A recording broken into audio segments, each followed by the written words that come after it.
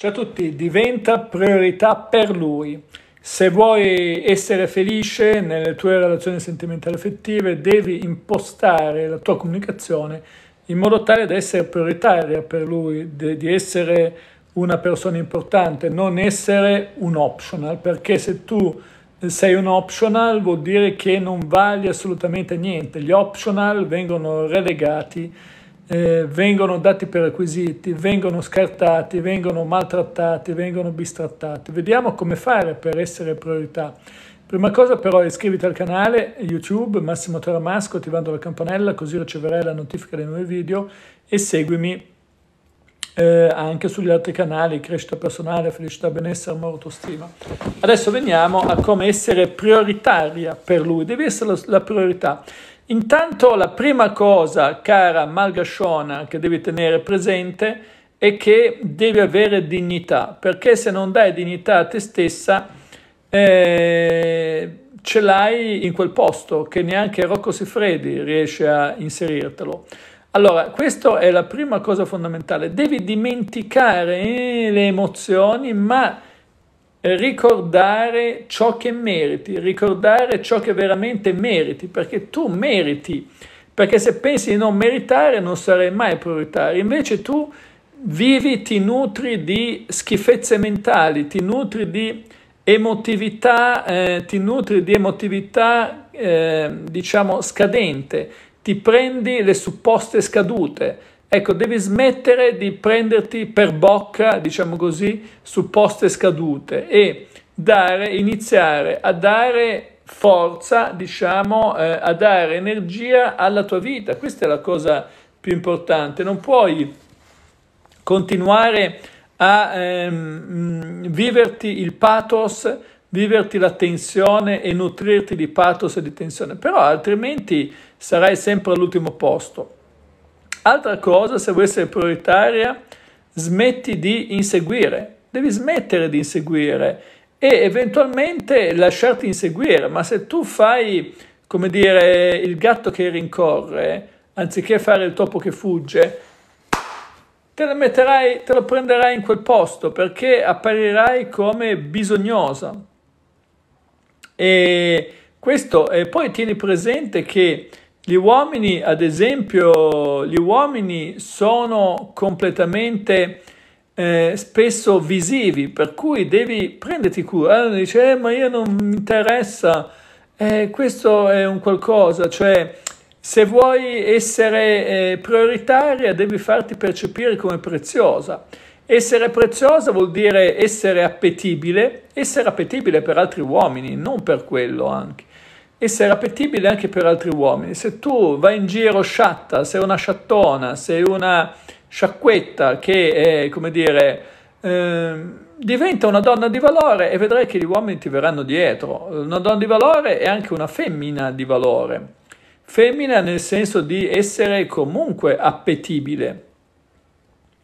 E, e per fare questo devi dare priorità alla tua vita sociale, e ehm, tieni presente che poi la cosa peggiore, ad esempio, ci sono uomini che intrecciano relazioni con altre donne, la cosa peggiore è quella di dargli la priorità. Eh, tu non devi assolutamente eh, dare priorità a qualcuno, devi fottertene, tanto come dire, di maschi ne trovi quanti ne vuoi, cioè e uno vale l'altro. Ecco, questo, eh no, non sono tutti uguali, ma sì, gli esseri umani sono strumenti, sono strumenti per farci vivere delle emozioni, ma di fatto uno vale l'altro poi alla fine. Per la parte emotiva, eh, la parte emotiva diciamo, è la parte logica che si fissa sulle persone, perché la parte emotiva guarda il processo energetico, questo è fondamentale. E beh, tieni presente che poi una caratteristica maschile fondamentale è, è il fatto che un, un, maschio deve conquistare. Tieni presente questo, che maschio, i maschi hanno un punto debole e tu devi sfruttare questo punto debole per farli cadere. Qual è il punto debole del maschio? È il cosiddetto orgoglio maschile. Cioè ogni maschio ha due, eh, diciamo, tarli nella testa. Ce l'avrò piccolo o sarò e quindi non in gra- piccolo nel senso di non in grado di soddisfare una donna oppure sarò impotente appunto.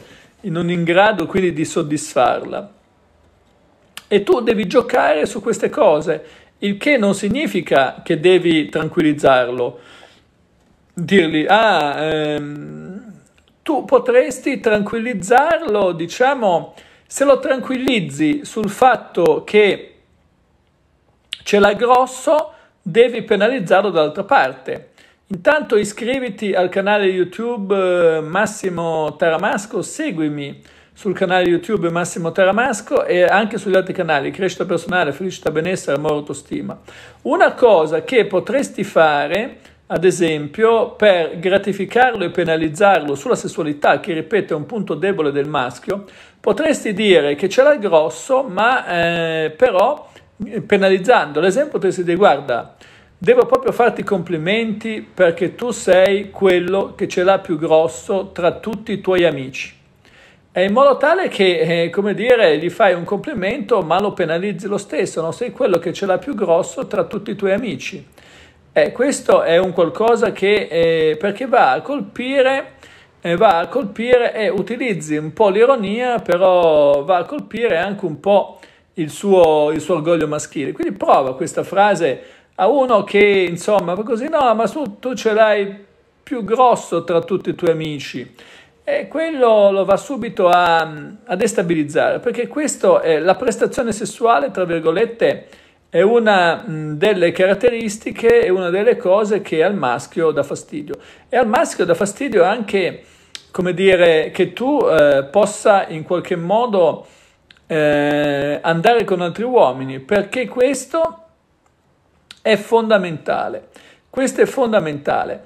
Eh, non devi temere che ah, ma così mi prende per mignotta o non mi prende per mignotta. Eh, deve avere dei dubbi attraverso l'ironia. È ovvio che una frase del genere, tu ce l'hai più grosso dei tuoi amici, è, è una frase ironica, no? che però ti fa, gli fa intendere che tu non stai lì a ad aspettare il suo pisello, se non c'è il suo pisello ci sono altri.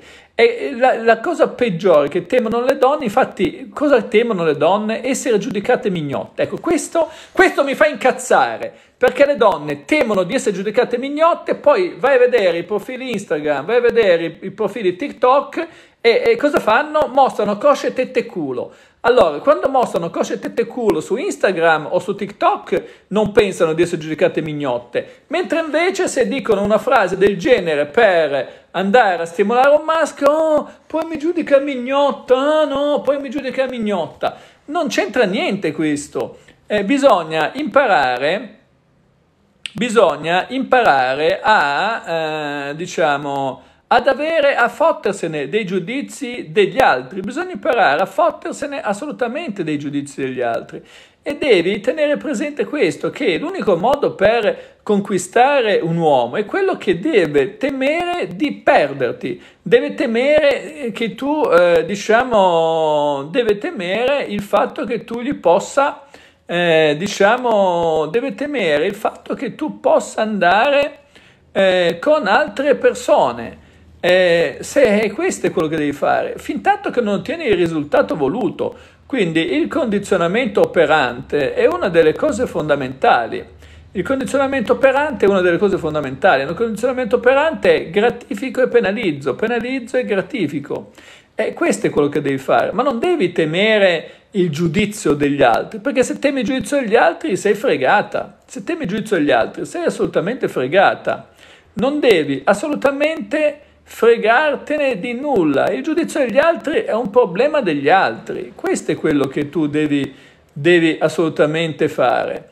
Ripeto, non c'è eh, anche nell'interazione con le persone, uno del, dei, dei, dei, problemi che fregano le donne è eh, ma poi così, eh, ma poi così se ne va, eh, ma poi allora lo perde. Se tu hai queste paure lo perderai.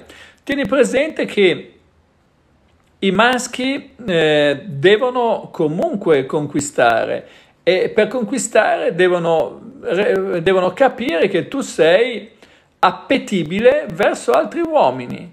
Devono pensare che tu possa, eh, che tu sei corteggiata da altri uomini. Se tu ti fai vedere nei secoli fedele come l'ama dei carabinieri, non, hanno, non gli dai emozioni, non gli dai tensioni Ma pensa, eh, allora, ma questo vale anche per le donne verso gli uomini, eh? Perché un uomo che è, è un erogatore di servizi, che è sempre disponibile, un cavaliere servente che appena schiocchi le dita arriva, quello non interessa a nessuna. Quello lì non interessa a nessuna. Potrebbe essere la persona migliore del mondo, ma non ne frega un cavolo a nessuna. Perché non da... E dici, ma non è il questione, non è che siamo masochisti, è che abbiamo una sfera emotiva che va alla ricerca alla ricerca eh, di emozioni. E questo è quello che, questa è la cosa. È ovvio che bisogna stimolare dubbi, mai certezza. Non è che devi dire me li sono fatta tutti, ma lui deve avere l'idea che ci sono tutti che ti vogliono fare. E questa è la differenza. questa è la differenza, no?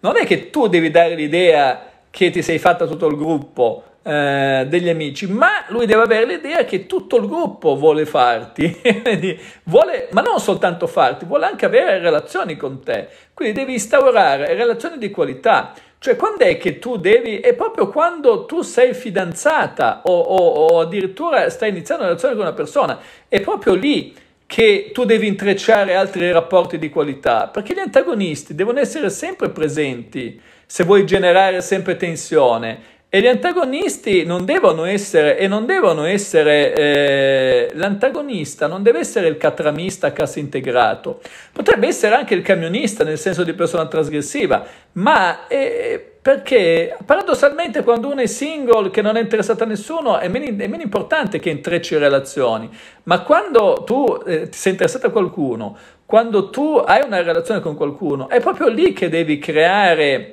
che devi crearti una cerca di amicizie, che devi intessere tante relazioni, perché la cosa fondamentale è quella. Bisogna sempre avere un network di eh, connessioni, un network di amicizie, perché se tu ti dichiari io sono eh, nei secoli fedele, verrai messa lì in un cantone, cioè sì, certo, magari ti terrà, perché quella, la, quella che è nei secoli fedele, la, la, quella che è nei secoli fedele magari e viene spesso scartata. Quindi questa è la cosa importante e la cosa che devi imparare a fare. Se non riesci a fare questo, non verrai assolutamente proprio preso in considerazione. Eh, bisogna imparare a dare un colpo al cerchio e un colpo alla botta, un po' gratificare, un po' penalizzare. Questa è la vera chiave della seduzione ma ne parlerò ancora in un altro video più preciso. Per adesso ti ricordo di iscriverti al mio canale YouTube Massimo Teramasco, attiva la campanella e, eh, e, seguimi anche sugli altri canali Crescita Personale, Felicità, Benessere, Amore, Autostima. Ti do appuntamento al prossimo video. Ciao a tutti!